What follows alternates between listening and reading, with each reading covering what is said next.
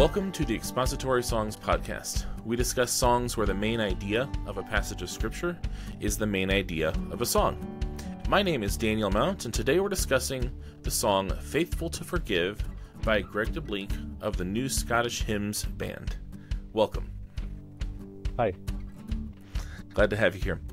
Uh, if uh, listeners, if you haven't heard the song, I would encourage you to pause the podcast and listen to it on your favorite streaming service. It's also linked in the show notes and then I'd encourage you to come back for the conversation.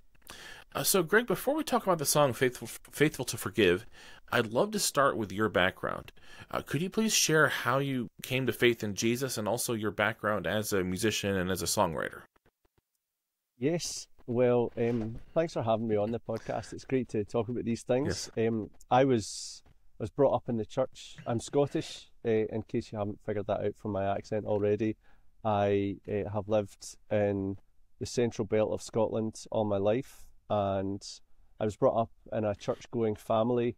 It was a gradual unveiling mm-hmm. of what Christ was working in me rather than a kind of Damascus road yeah. experience for me. So while there have been kind of certain emotional moments and other kind of formal commitments like uh, joining the church um, I don't tend to look at these as particularly significant because the the stuff of that I've done has been incidental and it's all about what Christ has done in me. So I, I find it hard to pinpoint a specific um, moment, but I just love seeing how uh, God has worked all things together for my good and how He is shepherding me and working with me, even though I'm I'm a sinner and even though uh, I'm really slow to be transformed. It's great to see that the Spirit is um, transforming me. So that's kind of a, a, a, short overview of, of my story, really.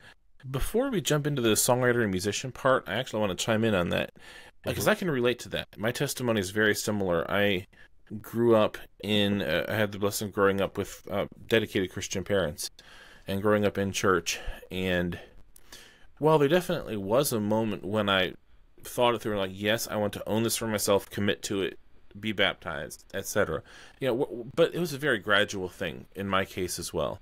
Um, mm-hmm. I have a good friend who I've done some songwriting with, who has the same sort of testimony, but he's in a traveling band. And one time, he was talking with somebody who asked him, you know, what day were you saved? And he was like, I wholeheartedly believe in Jesus saving faith, but I grew up in a Christian household. It's hard to pinpoint an exact date, and this person just kept not coming after him, but kept pressing him. Yeah. And eventually he said, "Okay, fine. I was saved two thousand years ago on the day Jesus died. That's the day I was saved." Uh-huh. I like that well, comeback. How, how about even further back than that? Do you know, like true? Um, uh, you know, in the Lamb's Book of Life God before the foundation. Yes, exactly. Yes. So God God knew that He was going to save us, but um, yes, you know. Uh, so yeah, I I I think it does it does feel a little bit artificial to yes. have to point to those kind of things, and mm-hmm. I think you know a lot a lot of people when they're talking about their testimony they're like oh it's a kind of boring thing and it's like no wait a second if if Christ was involved this mm-hmm. is the king of the universe who decided that you were going to be adopted into his family. So that's not boring, you know. He, he, yeah. and and I kind of I fall back in that. You know, my life my life might have been fairly uneventful by you know conventional standards, but um, I'm just so glad that Jesus has saved me. You know. Amen. Uh, so then, I'd also love to hear about your background in getting into music and, and your background as a songwriter. Okay. Um.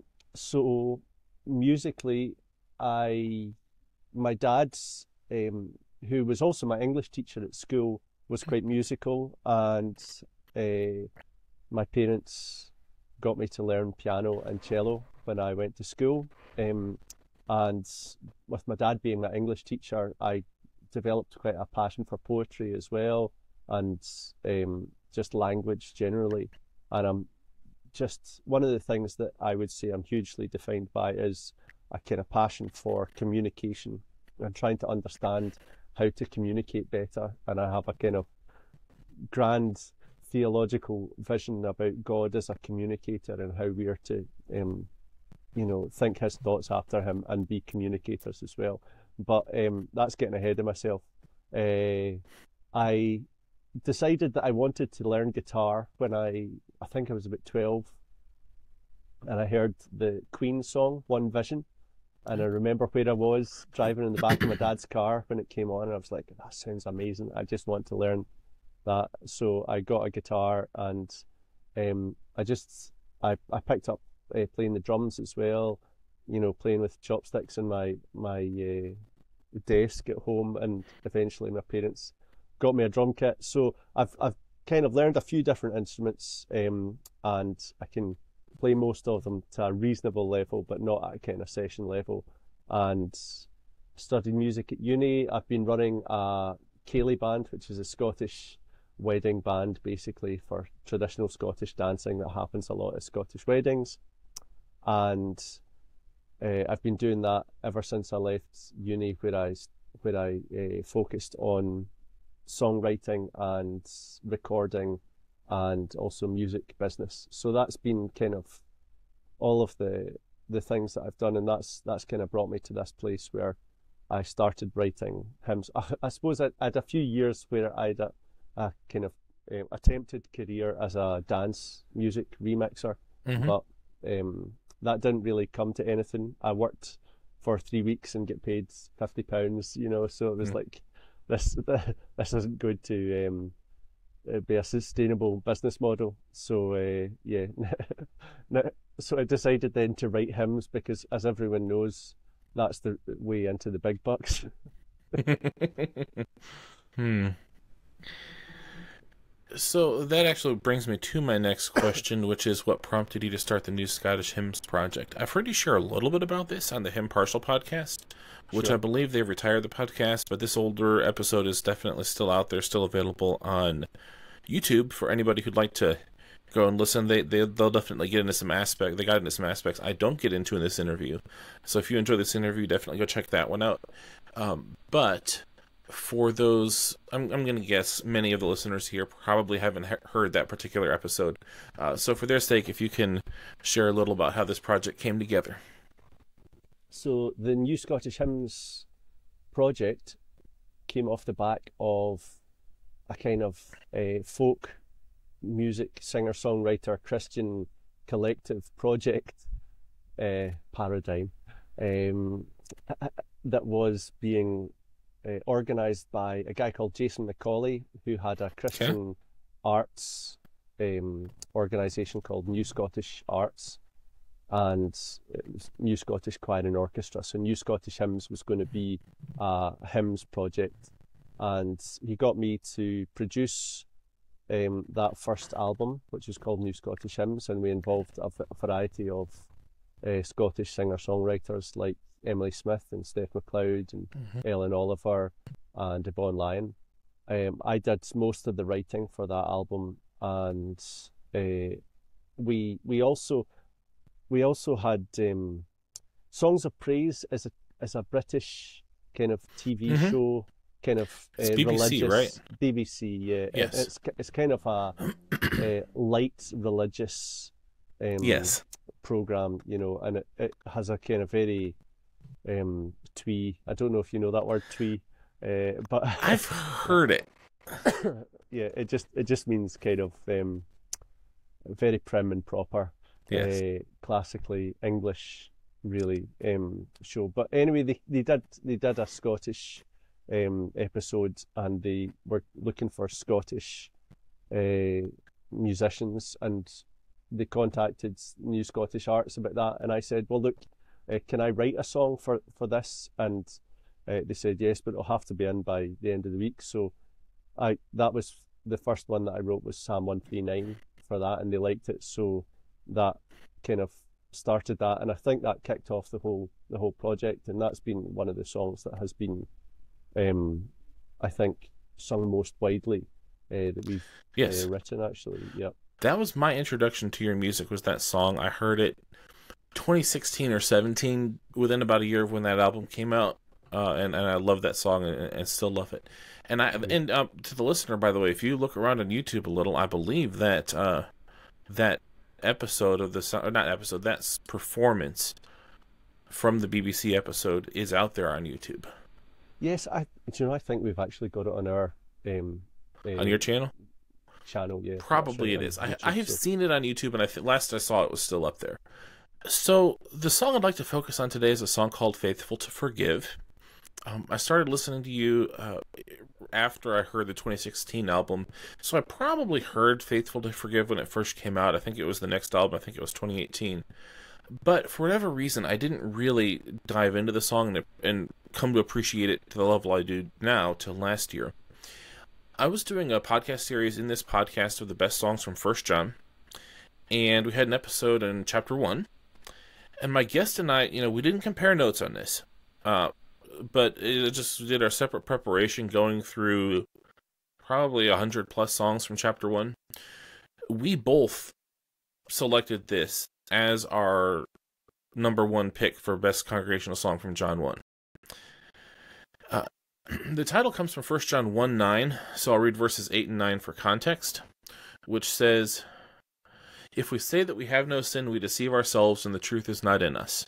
If we confess our sins, he is faithful and just to forgive us our sins and to cleanse us from all unrighteousness.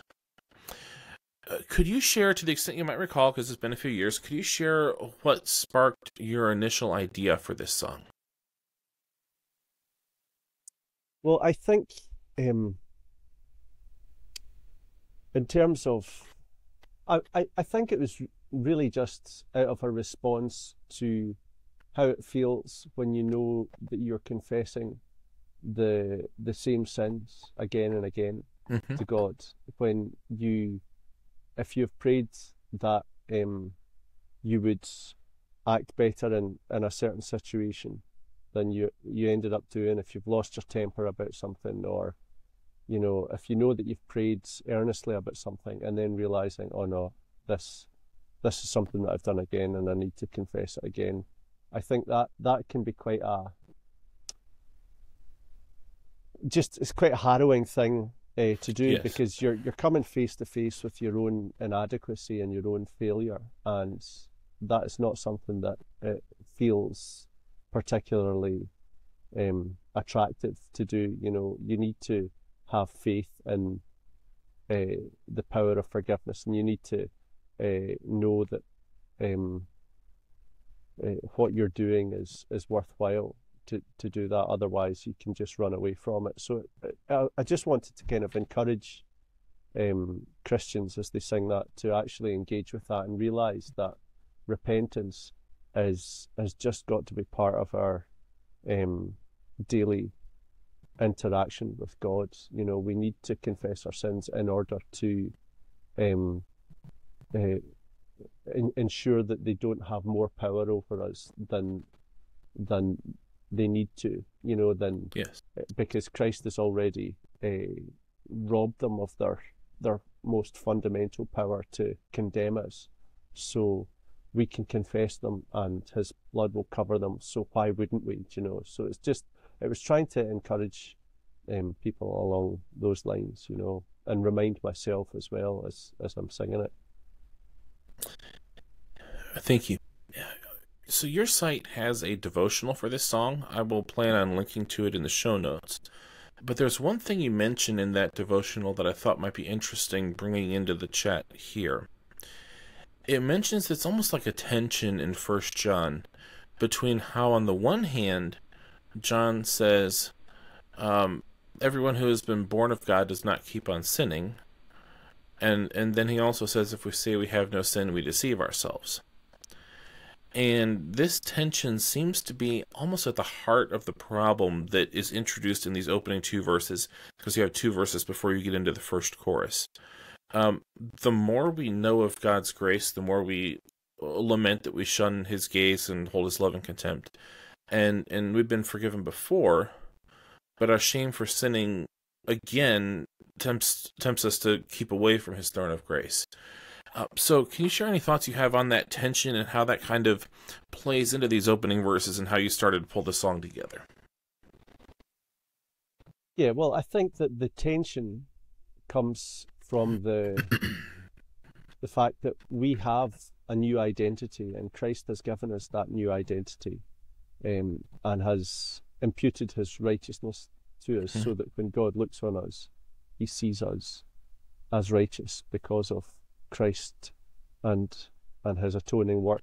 Uh, and because we are united with Him, we have that identity, and yet we are in in that strange in between place where um, sin has not been dealt with, uh, uh, and finally, and you know because of that, we still have, um, you know, the sinful tendencies and and the the the old Adam, um, still uh, fighting to um, have as much uh, of us as um, you know the devil wants as much of us as they can get, kind of thing. Mm-hmm. Um, but I'm, I'm realizing as well that the um, that passage that says it does not keep on sinning is per- perhaps more talking about the trajectory of the believer as well. Yes. Um, and uh, you know, sin. If you are a, if you are someone who knows Christ and is known by Christ and is saved by Christ, sin will just consistently um, become less and less attractive to us.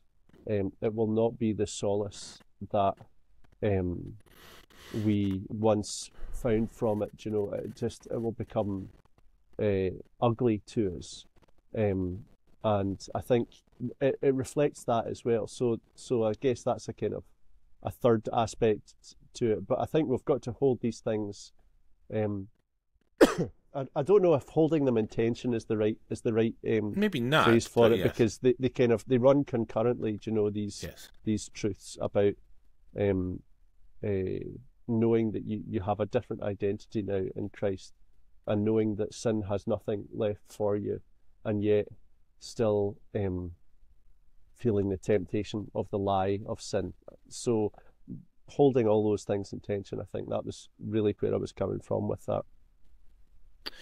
And then we move on to the chorus, which, as the title says, celebrates that God is faithful to forgive, which echoes 1 John 1 9, He's faithful and just to forgive us, uh, forgive our sins and cleanse us from all unrighteousness.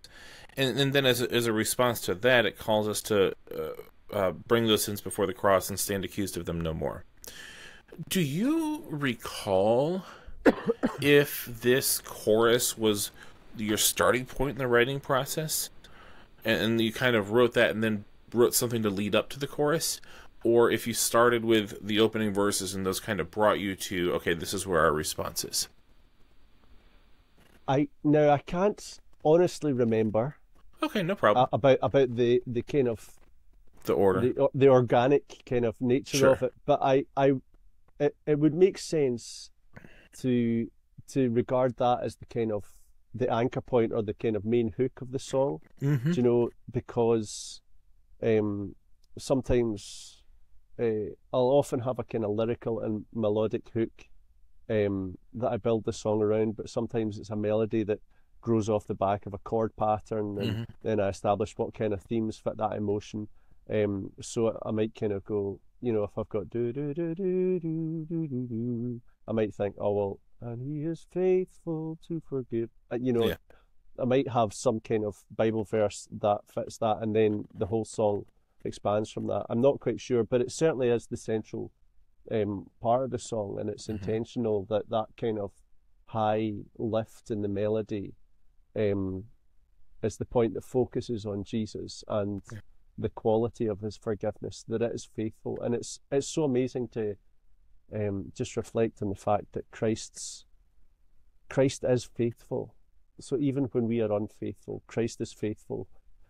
And you know that's just such a wonderful truth to remember, and it's faithful to forgive us as well. you know, um, I, I I I don't think we, we're able to get our heads around it. I think we just have to um, sing those words and wonder at how wonderful Christ is that he would be so faithful to us and in his forgiveness. And to that end, I think this is a song that that we need to sing. That there's so there's so little in the hymnody that I have around me that would be commonly be sung in my circles that really speaks specifically to this theme. Um, there's there's definitely songs that speak about forgiveness, songs like Before the Throne of God Above that speak to Jesus as our high priest and intercessor. And those are great and we need them. But we need this reminder of his faithfulness to forgive us even when we have this hesitancy. Um, there's just uh, as we talked through songs from the chapter, there's very little on that theme, and it's something that we need to be reminded of. Yes. Yes. I have a, a specific question I didn't quite understand in verse 3, uh, which begins with the freedom that his cross achieves, how slow we are to understand, transforming power each one receives each day from God's own gracious hand. The how slow we are to understand part, does that more connect to the line before it or the line after? Well, I, I would say, I think it's it's a kind of bracketed reflection on both of those truths. I think Okay. It's it's primarily related to um, the freedom that the cross achieves. You know, I think we are kind of slow to understand that. I think that is something that gradually, I, do you know, I think that if you say to somebody, Jesus Christ died on the cross to save you from your sins, that is a, a mind blowing truth, but it can appear as just something that just seems like a non sequitur. It's like, what, Mhm. what does the death of this man 2,000 years ago on, you know, a Roman torture instrument have to do with me and, you know, the things that I have done wrong? Do you know, and actually understanding how that actually means that we are free and how, how we have uh, freedom uh, to, you know, the, the freedom of, um, it's like having having a passport. So I've got a friend who uh, was who came to the UK illegally and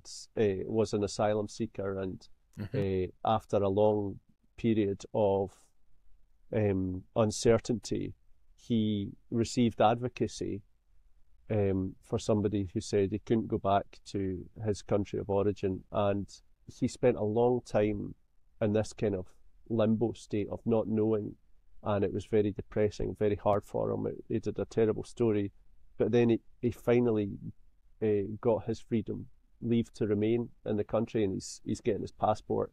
Um, I'm not sure if he's even got it now, but that kind of idea of actually, no, now you're a citizen. Um, uh, he's he doesn't necessarily think about his citizenship every day.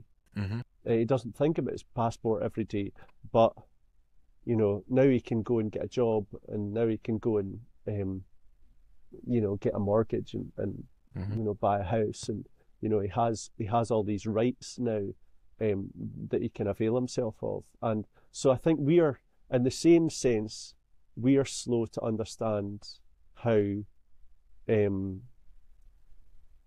we can actually be free from sin. You know, without Christ, we are always going to be enslaved. We are always going to be slaves to sin, and um, we don't fully realize just how we don't need to depend on sin anymore. We don't need to depend on these uh, idols that we have set up for ourselves anymore.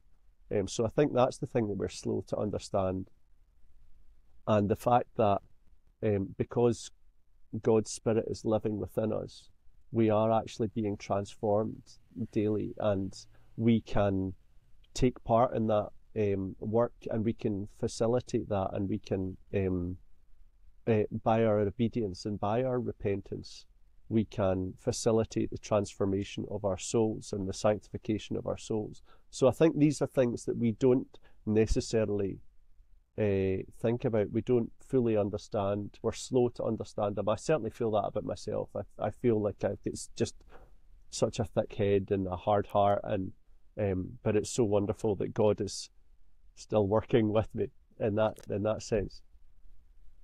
Amen. You know that that's a good analogy, uh, an inter- and an interesting analogy too.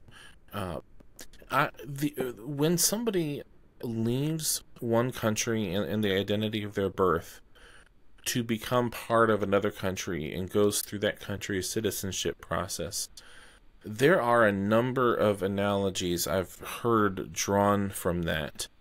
Um, as pertain to the Christian life because there are some parallels to us leaving the kingdom of this world and becoming a part of God's kingdom and, and pilgrims and strangers here and citizens on our way to a, a heavenly country. Um, but I've never heard this analogy extended into this area of uh, forgiveness and confidence, and it was very interesting to hear um, the analogy used in this context. So when I look at the first half of the fourth verse, on first glance, I think it's eschatological or pointing to the end times, uh, where it says, The darkness soon shall pass away before the Sun of Righteousness. Uh, and maybe I'm predisposed to kind of come in with that mindset because so many of the the grand old hymns of previous generations end with an eschatological final verse, whether that be fourth or otherwise. But then the second half says, Saints usher in that glorious day and let no sin stay unconfessed. So, does this second half point to us understanding this uh, in the present day? Are we speaking of darkness passing away in our own lives as we walk in the light, you know, 1 John 1 7, with our sins confessed and forgiven? Yeah, well, I mean, I think it's it's it's probably one of these both and things, isn't it? Yes. I think that I think that when we see "Come, Lord Jesus," we're ushering in the kingdom. Yes. In a sense, that is, you know, the, the kingdom that is already am, among us, but one day will be fully realized. so we are just um, aligning ourselves with the desire to see that kingdom fully uh, realized. There's a kind of um, prophetic duality mm-hmm. in Scripture where um, when you come across things and you're not sure if they refer to the, the now or the not yet, and there isn't so much um, an either or tension, but it kind of reflects the kind of typological nature of creation. You know, one thing points to another. Mm-hmm. Um, so things that we practice here in our limited earthly reality reflect a greater future realities where the spirit and flesh will be gloriously united. You know, so that that is already that process has already begun in us. Um, so it's it's it's both ushering in the kingdom in our lives at the moment and also looking towards the end times. Um, and you know, I think I think that um, God's kingdom uh, manifests wherever He is acknowledged as King and wherever He mm-hmm. is obeyed as King, and Christ is given His uh, place as the um, rightful King, and um, so it's just it's really um, about that, and the process of confession really is about us being done with sin, availing ourselves of the endless forgiveness that's been poured out on us so that God's kingdom can be established. um, so, uh, yeah, I think in terms of ushering in the eschaton, um, we acknowledge that, uh, you know, the, the Christ of God in his rightful place, you know, that's holding that dual meaning. Does that make sense? I don't know. It does. It does. I mean, do you know what's what's really quite interesting is the the kind of questions that you're asking. Um, these are the kind of worries. See, whenever you're writing hymns mm-hmm. uh, for the church to sing, I really, I really want to avoid anything that would be, contra- obviously, that would be contrary to Scripture. Mm-hmm. I don't, and I think it's very easy to, um, if you have a naive um, or un- underdeveloped theology, things that you you can be tempted to write things because they have some kind of aesthetic uh, value, but they don't necessarily reflect the truth of Scripture. So I, I, I do appreciate questions like this, but it always brings a little bit of a sweat on because I'm thinking, mm-hmm. have I written and released and published and sung and promoted a song that actually might be slightly heretical. You know? so there's always that tiny little fear at the back. But I don't I don't think that I is. Think, I, I, I was I was I trying to right. reflect yeah. reflect the kind of scriptural. But I I think as long as people realise as well that when they're singing songs, um, the songs don't don't come under that um, blanket uh, uh, mm-hmm. of um, uh, the the authority of scripture. You know, you have to you have to always um, sing songs with your eyes open I think. Yes. Well, as someone who I also have an interest in songwriting myself, I, I understand and share that concern. So I get it, and I, I have that concern. But I I bring songs to feature on this podcast that I really think will stand up to that scrutiny. Uh, so if a song is one that I'm bringing onto this podcast, I'm pretty confident that it stands up to those questions. Stamp, stamp of approval. That's good. Yeah. That's good. um, you know, th- this topic is is you know there there are other songs we could have focused on that are maybe more of, of a fun topic to chat about. This one's a heavy topic, uh, more more so. Uh, but I do uh, thank you for your thoughtful and thought provoking answers uh, on, on these questions as we as we reflect on these issues. I do have a couple of general questions, but yeah. before we move on to those, was there anything else in the song that you might that you, you think might be interesting to the listeners were you to mention it be it lyrical musicality arrangement even how it's been received or used uh, is there anything else that like comes to mind as you know that might be interesting to mention before we move on to a couple of general questions well i think that i just want people who are singing the song i want them to feel the pettiness of sin hmm. i think that you know, like when you measure yourself against the power of the devil and the power of evil, mm-hmm. you know, you seem so small and evil seems mm-hmm. so big. But then when you measure that power against the power of Christ, it is just mm-hmm. immeasurably more powerful. Yes. And, you know, understanding that if Christ is for you, this this little um, insignificant, uh, you know, worm, oh worm Jacob, uh, to to quote to quote the scriptures. You know, this person of insignificance. If you're being given significance by Christ, then you have that significance, and that can't be taken away from you by by evil. And what I guess what you really want people to come away realizing is the pettiness and the the emptiness of sin and mm-hmm. you just there is this wonderful mechanism that has been given to us that is confession. You know, before God, we can just confess our sins to God and He will forgive them, and those sins will uh, cease to have that same power over us, and, and they can just be exposed for the the um, the pretenders that they are. Mm-hmm. You know, they don't they don't have the power that they pretend to have. So I would just want to um, want people to use this as a way to dial down into that um, great source of strength.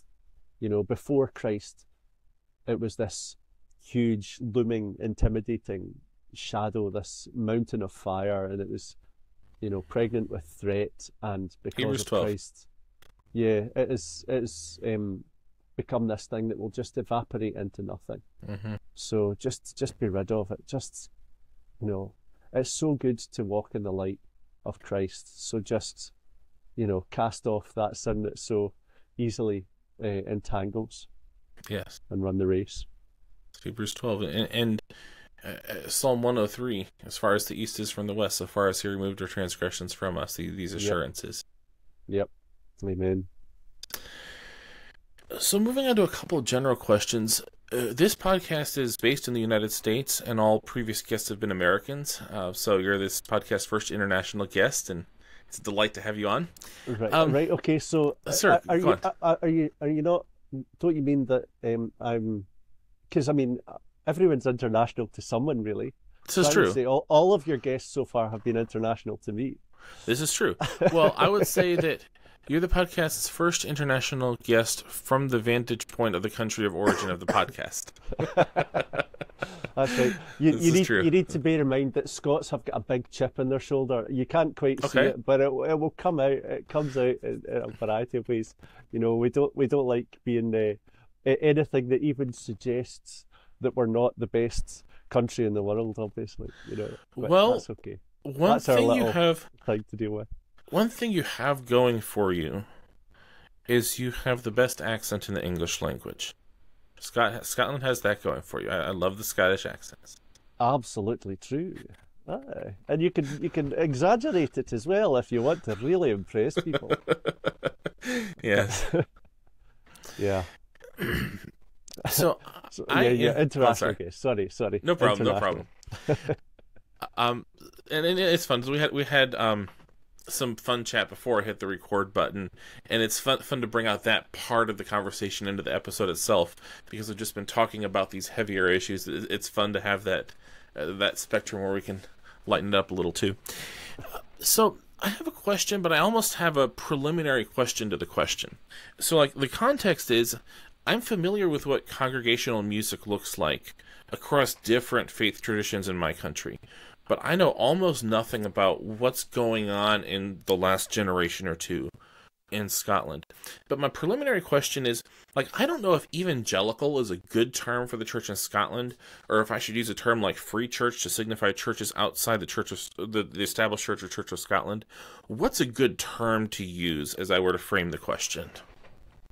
Well, I, yes, I mean, I, I think evangelical is still a term that a lot of churches um, Okay. will, will use if they're kind of Bible believing, Bible uh, holding yes. to the scripture. Um, but the, the church in Scotland is quite quite similar to a, a, a lot of different places. Scotland has become quite a um, secular nation, um, Yes. an extremely secular nation, um, and religion, I think, generally is regarded with a kind of quaint curiosity, or it's regarded as a kind of negative and anti-progressive um, Mhm. ideology. You know, so those, tho- or you know, it's just it's just something that people don't even engage with at all. So the mainline churches in Scotland, like the church, the Church of Scotland particularly, has largely, um, particularly f- from the top down, has acquiesced to the kind of uh, progressive Mhm. demands of the the kind of leftist cultural agenda, and as a result, it's in a bit, little bit of a state of free fall in terms of membership and churches closing. Um, meanwhile, there's the individual churches or churches that are associated with, um, like the Fellowship of Independent Evangelical Churches (FIEC), or um, my own church is a an Anglican church, but Mhm. Anglican connected with the um, the evangelical uh, global South Anglican um, Yes. church as opposed to the Church of England, which is also Which is also um, has drifted as far as the Church of Scotland has. Uh, yes, yes. So we actually, yeah, and we used to be part of the Episcopal Church as well, Mhm. um, which uh, the Scottish Episcopal Church, which um, preceded the the Church of England and the Church of Scotland and its its views. So I mean, it, yeah, I, I, I think there's there's obviously all these challenges, and I'm not I'm not here to kind of uh, to uh, bash a, a var- variety all these different um, denominations and stuff, but there there is the kind of real um, there's the challenge of are you going to stick with uh, the authority of Scripture, or are you going to try and um, adapt uh, the message to to suit the culture? And you will never be able to do the latter, and that's kind of sad. So uh, it's this. I think you're probably you're it's, you're seeing the same kind of polarization as you would be seeing in the US. But I think because Scotland is a smaller nation, um, all of these all of these different churches are ve- very much close together, you know, um, and uh, just down the road from one another. Yes. So, and I- and I like how you put it. it. It's a good general term. Churches that uphold the authority of Scripture, and that's probably better than any one term. So, uh, among churches that uphold the authority of Scripture, uh, do you? I imagine you have somewhat of a spectrum. I'm just curious what the spectrum looks like among churches that might only sing the older Watts and Wesley hymns. Uh, do you have? There's a few exclusive psalmody churches in the U.S. that only sing psalm paraphrases. Not many. Yep. There's a few, but I've, I've I've heard of some in the in, in the British Isles. Um, how strong a presence does modern hymns have? Do you have a lot of churches that sing the latest hits of and Hillsong, and that's largely what they do? I'm just curious what the spectrum of worship music looks like. Uh, what's churches- common? What's well received in, in Scotland? All churches in Scotland have a, a bagpiper, and we all just sing along with the bagpipes. Uh, and then we go out and uh, we we go and hunt haggis.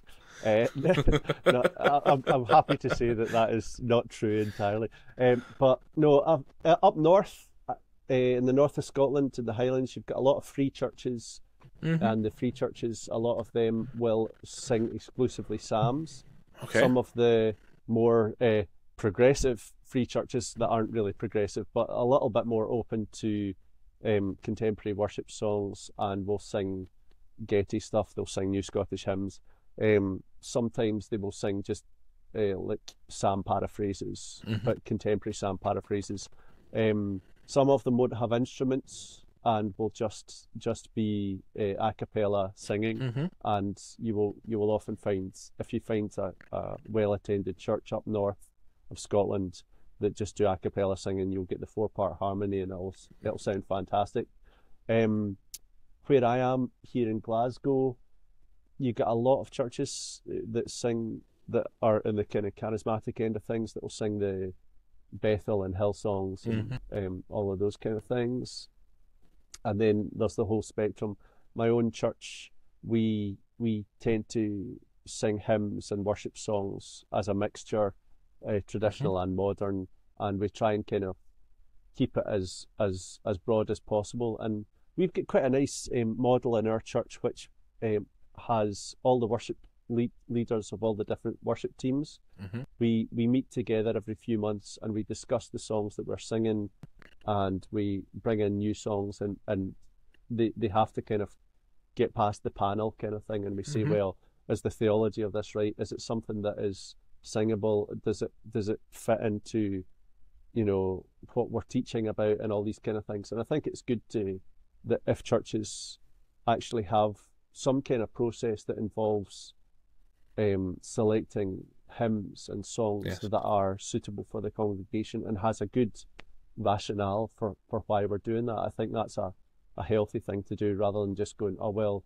the guy that plays the piano has heard this on the latest Hillsong album and uh, now we're going to sing it for the next six months. You know, I think I think it needs to be a little bit more. Um, you know, it has to pass muster. I think it's it's better if it does that. And then, like a more specific question that has some some connection to the previous one, is I'm curious which of the new Scottish hymns songs that you've put out have really most caught on congregationally, whether that's in your own church or the, the the free churches in the north who mix in some modern hymns or wherever else. Um, just for, for somebody who's listening to this episode and this is their first exposure to new Scottish hymns, it's always a great place to start with when you're speaking in the realm of congregational music to really have some of the first songs you listen to be the ones that congregations love to sing. Sure. Well, yes, and I think I think not all of our songs are congregational yeah, songs. True. Um, and I kind of I write. Uh, I think being able to get a congregational song out there, I think, is a is a great uh, goal because I, I think that's one of the highest expressions mm-hmm. of, of music is to find something that the congregation can sing and exalt God with. Um, so I'm always kind of aiming at that, but sometimes uh, the songs that we write are just personal reflection songs mm-hmm. for for in your headphones when you're going to work. Um, so I would say Psalm 139, I think, is a mm-hmm. uh, is we've also Psalm 103. Uh, okay. wake up, wake up, my soul. We sing that a lot in our church. Uh, Union with Christ, okay. um, which is on our second album. That would be a third. You're the Shepherds. Uh, yes, that's gets sung song. quite a lot, and uh, try to think what other ones. Um, we've we've got a version of Psalm 16, which is God of Refuge, be my Saviour, which is on our uh, Joy Will Follow album, and that is um, the tune of Come Thou Fount of Every Blessing. So mm-hmm. people already know the tune, but it's it's a, um, a Psalm paraphrase of Psalm 16. So yeah, so I think there's there's quite a few on on each of our albums, but I would say uh, those those ones tend to get a lot of traction. Um, and I'd, I'd actually a woman um, message on Facebook earlier today saying uh, she's in. Uh, is it? I'm not sure how to pronounce it. If it's Saint Helena or Saint Helena or some other uh, version of that, but it's a small island in the South Atlantic Ocean. Mm-hmm. It's like um, if you go down to Angola and uh, yes, I've heard west, of the island, but I cannot remember how to say it either. Yep. So well, she she messaged me um, to say you know uh, listening to Psalm one three nine down here and you know enjoying the fact that it's connecting her to her Scottish roots. So I felt really touched by that. I've got a big. Hmm.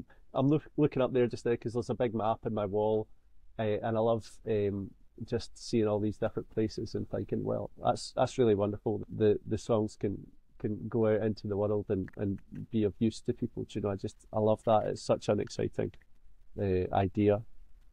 It's really encouraging. It is exciting. So one more general question, and then we can move into the how people can keep up with you sort of conclusion, conclu- conclusion matters. Uh, I was uh, re-listening this morning to an interview I listened to back when it first came out. I think uh, an interview you did on the Hymnpartial podcast, uh, which they've recently, relatively recently, retired the podcast. But uh, anybody who enjoys this podcast would probably enjoy going back and catching dozens of their past episodes. Um, but you were on that podcast and you mentioned something interesting um, that you try to carry the sensibility and values of the classic hymn writers like Wesley or Watts um, as you write.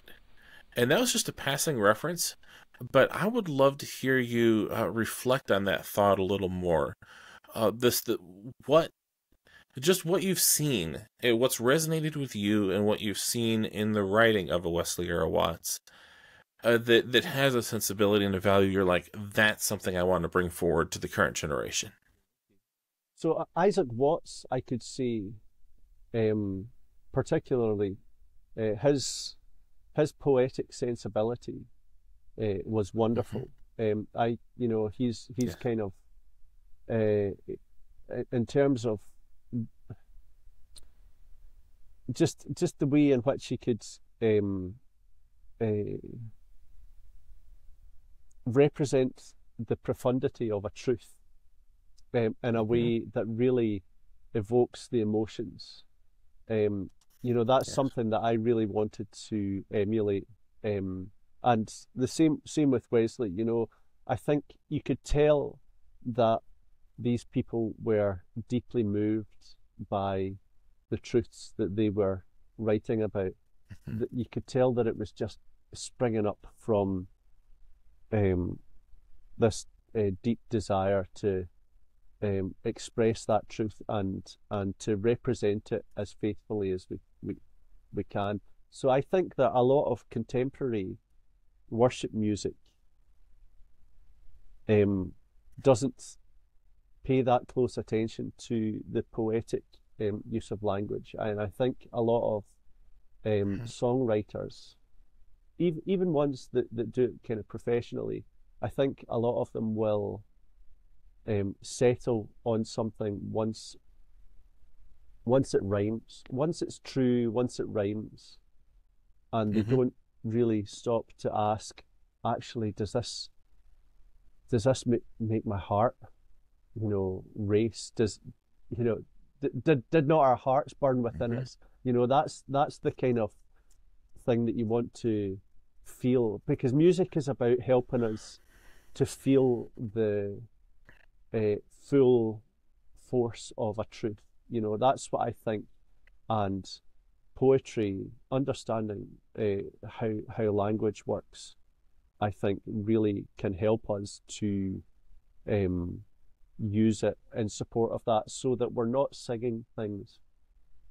We're not kind of singing songs in a way that um, dist- distracts from uh, the magnitude of the truth. You know, if you, if I was to say, Jesus Christ died for your sins, that's a truth, and it's a profound mm-hmm. and you know it's possibly the greatest truth of all time.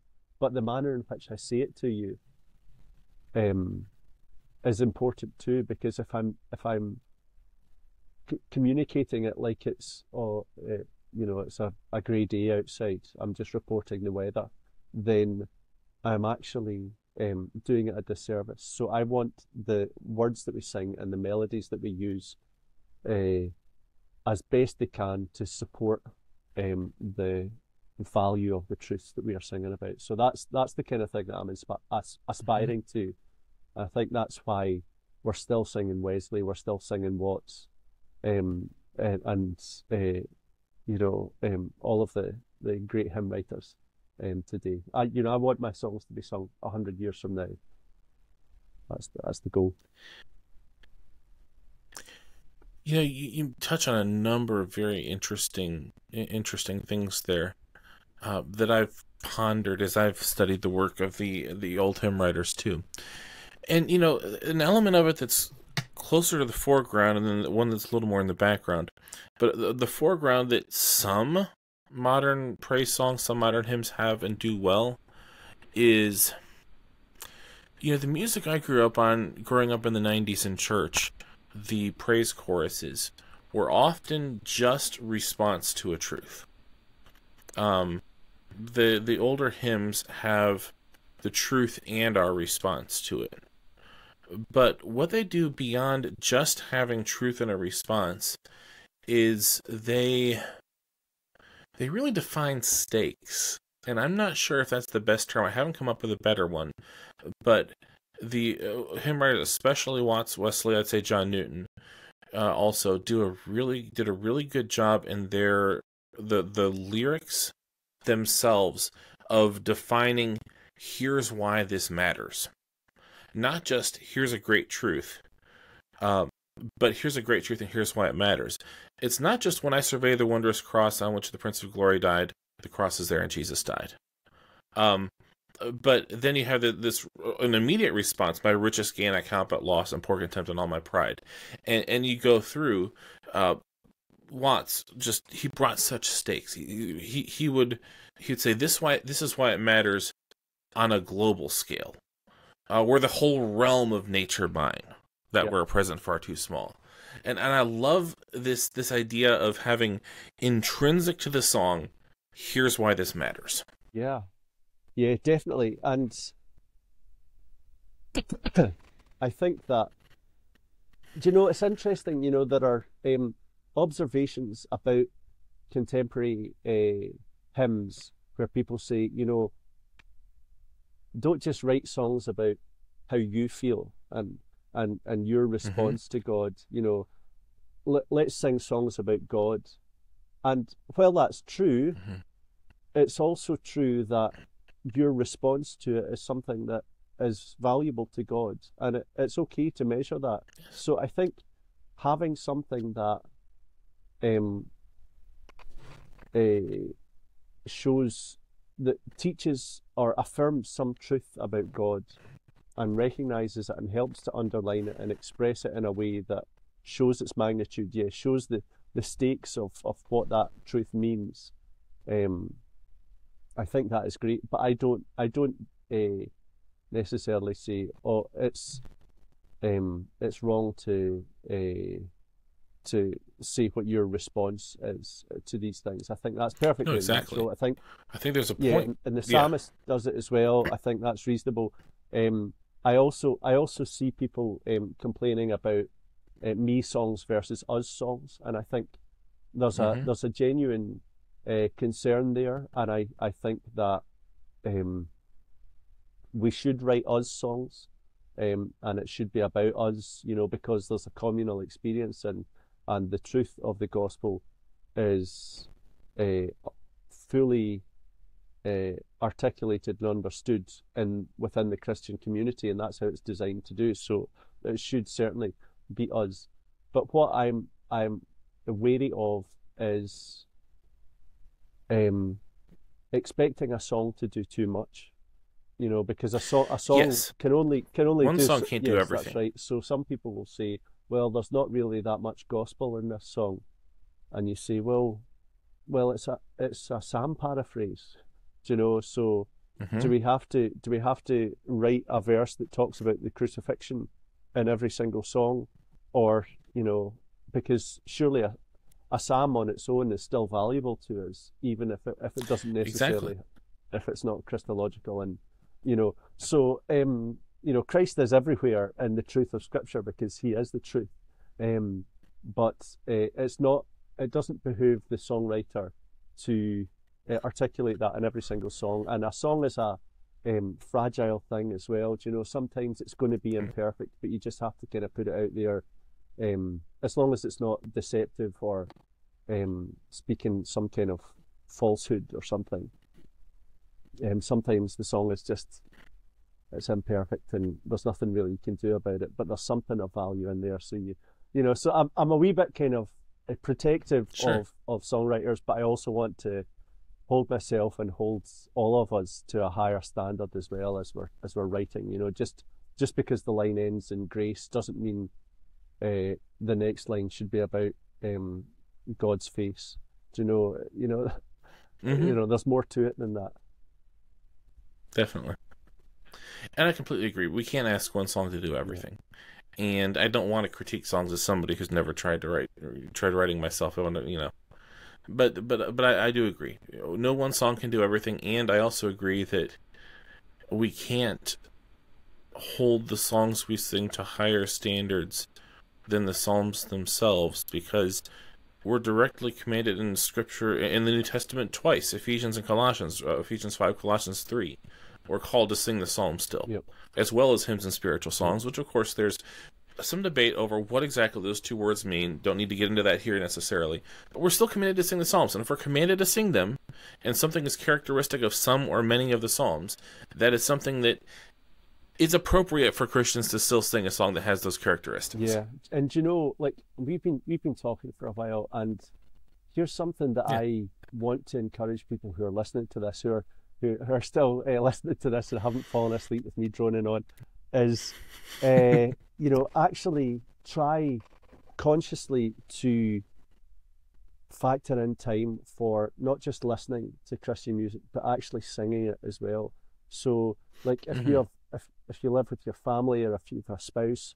Um, this is something that I, I should really do more myself. I love singing with my wife. She's she's a great harmonizer. She sings in my worship team at church as well. But um, I need to just sit down and sing with her more because I think actually doing that there is something that happens. There's something organic about um, the way music works. You know, the fact that it has harmony and it has mm-hmm. patterns and it it it affirms some of the great fundamental truths about delineation about um, the way a melody sh- should go there and not there, and these chords should should work and these chords don't. You know that kind of um, affirmation of beauty that just happens all on a kind of almost subconscious level when we're when we're making music. It's good. It enriches the soul, and I, I encourage people to do it. Mm-hmm. So uh, when folks are finished listening to me with my long droning um, sentences, they could go and listen to some good music. So that's what I recommend they do. Yeah, that it is a really good practice. Whether you call it family worship, family altar, whatever the word, it is a very good thing for Christian couples and Christian families uh, to sing together. Uh, and my wife and I have a, a three-year-old son and a two-year-old daughter, and we're starting to teach them some of the grand old hymns. We like try to do one a month, just maybe I'll teach them a verse or two, but they actually remember a surprising amount of them a year later. Yeah. Um, so we're working on it, and it's it's a blessing. And it, it also shows me if a song works when you're singing it a cappella, no instruments, with the three year old and the two year old. Uh-huh. That's a song that has some staying well, power. yes, absolutely, yeah, um, definitely. And I'm I'm trying actually, I'm definitely. trying to write some more um, children's worship as well. Um, oh, that would be know, great. I'm I'm trying to engage with the idea of you know, what should a children's song actually be? The the thing, the songs that I grew up with, um, that still hold value for me, like um, Jesus loves me, this I know, or Wide Wide is the ocean, mm-hmm. and things like that. You know, I, I I'm trying to distill down what what is the kind of what is it about those kind of songs that really um, are are things that I don't just throw out when I become an adult, but things that actually still mean something to me, you know. So more of those are, are coming, I'm sure, in the in the coming months. I've noticed a factor that really seems to work with the songs that resonate with uh, my kids is um, a simple, catchy chorus. Mm-hmm. And catchy is always hard to define, but a chorus is not overcomplicated. Because if there's a chorus they can understand first, and like first, second, third listen through a song, they can follow along with the chorus, then they're a lot more likely to come along and learn all the verses where there's a lot more, yes. a lot more content. Because they're looking for the patterns, I suppose, in in the first instance, the things mm-hmm. that they can recognize and remember. Yep, yep. Yeah, like redeemed, redeemed how I love to proclaim it, or I stand amazed in the presence of Jesus the Nazarene, with how wonderful, yep. how marvelous, how wonderful chorus. Yep. Those like they really latch onto because there's there's great depth in the verses of both of those songs, but there's very simple choruses. They like get the chorus first, and then they come into the well, verses. You see, this is this is That's what works this is why us. I love hymns. Um, you know, because yes. they have a refrain. You know, some hymns have a refrain, um, or some hymns are just a, a, a series of verses repeated. But they they don't have a bridge, and I don't like bridges generally. You know, I think I think a bridge is quite yeah. a kind of, um, you know, it, the bridge is there to kind of distract from when things get boring. You know, in a contemporary pop song or mm-hmm. whatever. And you know, I don't have a huge beef with it, but I just think that um, when you're trying to teach people something new, two things is possible. Three things is more challenging, and that's why the bridge. I think I always you, mm-hmm. you don't have there aren't many bridges in many of my songs for yes. that reason. Well, most of our podcasts go 45 minutes to an hour. Uh, we're actually a couple minutes over an hour at this point, so I thank you for being so generous with your time. I'm very appreciative.